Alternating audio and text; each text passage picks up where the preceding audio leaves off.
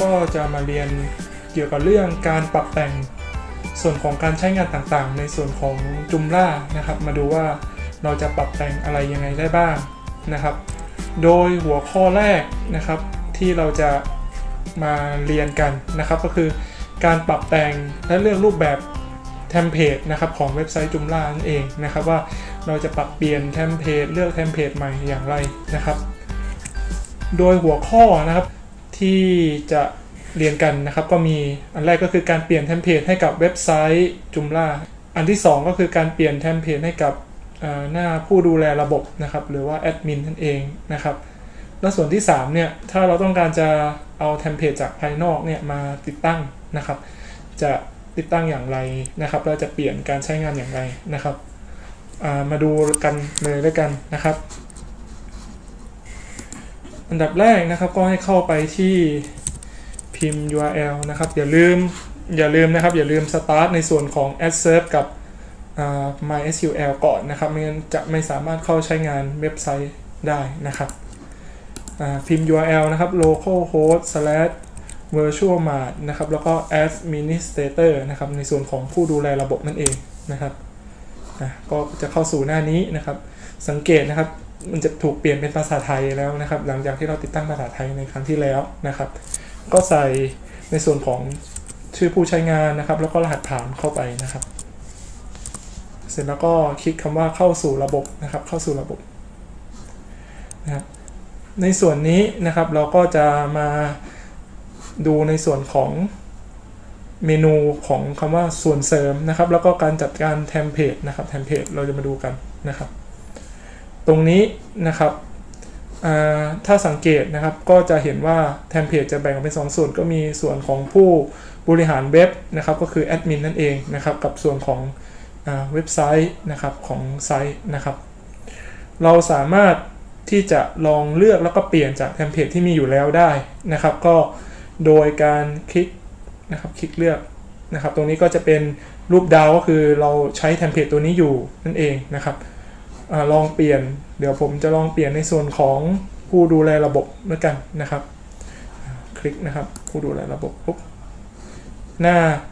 ในส่วนของเมนูต่างๆอะไรต่างๆ ก็จะถูกเปลี่ยนไปนะครับ สีเปลี่ยนไปอะไรเปลี่ยนไปนะครับผมขอกลับมาใช้อันเดิมก่อนเลยกันนะครับ ดูแล้วอันนี้น่าจะสวยงามกว่านะครับ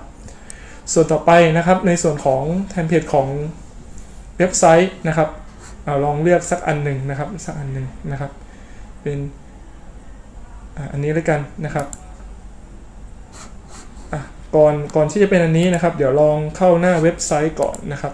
localhost slash virtual mart นะครับหน้าเดิมๆมันก็จะเป็นอย่างนี้ใช่ไหมครับ จะเป็นหน้าแบบนี้นะครับ พอผมลองเลือกเปลี่ยนธีมเป็นอันนี้ดูนะครับ bis 5นะครับ ลองเลือกดูนะครับอะแล้วก็มาหน้านี้แล้วก็กด F5 หรือว่า กด refresh ก็ได้นะครับ refresh ดีกว่านะครับหน้าจอก็จะเปลี่ยนไปนะครับ ข้างบนก็จะไม่เหมือนเดิมนะครับ อันนี้ก็คือในส่วนของการปรับเปลี่ยนธีมของ Joomla และ Virtual Mart ที่มีมาให้อยู่แล้วนะครับ เราก็สามารถเลือกเปลี่ยนได้เลย แต่ตอนนี้บางคนอาจจะต้องการเทมเพลตนะครับอื่นๆ เราก็สามารถดาวน์โหลดหาจากเว็บไซต์มาได้นะครับอลอง โหลดมาติดตั้งสักอันหนึ่งดูนะครับแนะนำเว็บไซต์เว็บหนึ่งนะครับก็คือเว็บไซต์ Joomla24 นะครับ .com นะครับอลองเข้าไปดูกันนะครับ มีเทมเพลตให้เราเลือกเยอะเลยนะครับ ไปที่เมนูดาวน์โหลดนะครับ เสร็จแล้วก็เลือกที่ template for J 2.5 ถึง J 1.7 นะครับ เพราะว่า Joomla Virtual Mart เนี่ย ที่เราใช้อยู่ตอนนี้มันจะเป็นเวอร์ชัน 2.5 นะครับ แต่จริงๆมันจะมีอันใหม่ขึ้นมาแล้วเป็นเวอร์ชัน3 กว่านะครับ แต่ว่าที่เราใช้เป็นเวอร์ชันนี้เพราะว่าในส่วนของ Virtual Mart เนี่ยจะรองรับแค่ในอยู่ใน Joomla เวอร์ชัน2.5 นะครับ เราจึงต้องเลือกในส่วนของการดาวน์โหลดเทมเพลต component ต่างๆ เราก็ต้องเลือกที่เป็นเวอร์ชัน2.5 นะครับ เอาลองคลิกไปนะครับอลองเลือกที่เป็น general Joomla template แล้วกันนะครับ เป็นทั่วๆไปนะครับ อันนี้เดี๋ยวลองเลือกอันนึงแล้วกันนะครับโยคะก็ได้นะครับ อันนึงเอามาดูนะครับแล้วก็กดดาวน์โหลดนะครับดาวน์โหลด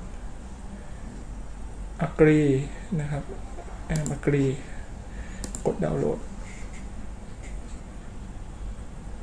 นะครับ ก็ผมก็เลือกมาไว้ที่ได้ C แล้วก็จุมล่าซอฟต์แวร์แล้วกันนะครับตำแหน่งเดียวกัน แล้วก็กด save นะครับ save อลองกลับมาหน้าหน้าผู้ดูแลระบบนะครับหน้าผู้ดูแลระบบนะครับ ในการที่เราจะติดตั้งอะไรต่างๆ เราก็ต้องมาที่ส่วนเสริมนะครับ แล้วก็การจัดการส่วนเสริมนั่นเองนะครับ เสร็จแล้วก็เลือกแพ็กเกจไฟล์นะครับที่เราจะต้องการติดตั้งนะครับ ชื่อ1 st yoka นะครับตรงนี้นะครับ แล้วก็คลิกแล้วก็กด open นะครับ เสร็จแล้วก็ เลือกคำว่าอัปโหลดแล้วก็ติดตั้งลงไปนะครับอัปโหลดแล้วติดตั้งลงไปนะครับ จะบอกว่าติดตั้งเทมเพลตสำเร็จแล้วนะครับ เรียบร้อยแล้วนะครับตอนนี้เราก็ติดตั้งเรียบร้อยแล้วนะครับเราก็มาในส่วนของอส่วนเสริมนะครับ แล้วก็การจัดการเทมเพลตนะครับ ตรงนี้ที่เราโหลดมาเป็นเทมเพลตของเว็บไซต์นะครับ เราลองเลือกดูแล้วกันนะครับว่ามันจะหน้าตาเป็นยังไงนะครับ ก็เลือกเป็นค่าเริ่มต้นไปนะครับ เสร็จแล้วก็มาหน้าเว็บไซต์ที่เราที่เรา